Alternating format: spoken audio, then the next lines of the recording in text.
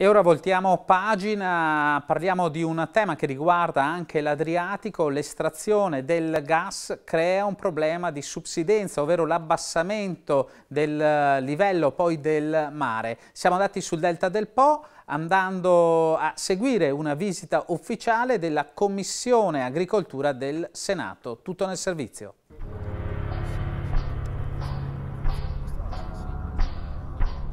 Posso assicurare che fino alla fine degli anni 70 questa era un'isola dove si faceva agricoltura. Stop ai pozzi di gas in Adriatico, troppi pericoli. È questo l'appello dei consorzi di bonifica del Polesine, Delta del Po e Adice Po, nonché di Ambi Veneto, che hanno accompagnato senatori ed amministratori alla foce del fiume più lungo d'Italia con l'obiettivo di illustrare il difficile lavoro quotidiano necessario per mantenere asciutte e in sicurezza le campagne e i centri abitati di un territorio a forte rischio idraulico. Polesine per tenere asciutto questo territorio che è sotto, come le dicevo, sotto il livello del mare sotto il livello dei fiumi, ogni goccia d'acqua che cade è necessario pomparla.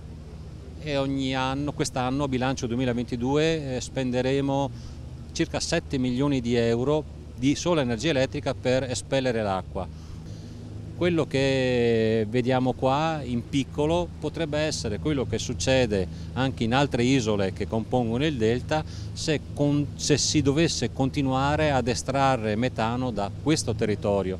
Questi non sono modelli matematici, non è una fantasia, questo è quello che è successo a seguito eh, della subsidenza. Tra gli esempi lampanti delle conseguenze della subsidenza l'isola di Batteria, che a causa delle estrazioni del gas metano degli anni 40 e 50 ha subito abbassamenti diffusi e non omogenei anche di 4 metri. Le immagini si commentano da solo, quello che può provocare l'estrazione del metano in un territorio così debole e fragile è anche bellissimo dal punto di vista ambientale. Eh, oggi sì, inevitabilmente lo sentiamo ogni giorno, il problema dell'energia è un problema grave, un problema incombente 60 eh, anni fa avevano pensato, 60 anni fa avevano pensato di risolverlo estraendo il metano da questo territorio e abbiamo visto gli effetti, le case eh, sono scese di quasi 4 metri, oggi si pensa di riestrarre il metano in questi territori, io credo che vada valutato, valutato attentamente.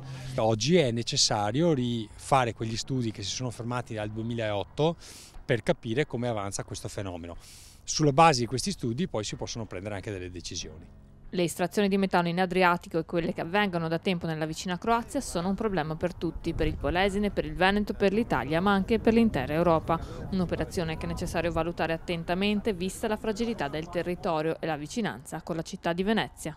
Una visita decisamente importante per far toccare con mano ai decisori politici quanto è difficile, ma altrettanto quanto è importante gestire questi territori con la consapevolezza che viviamo in un territorio fragile, ma soprattutto difficile per mantenere un equilibrio tra terra e acqua.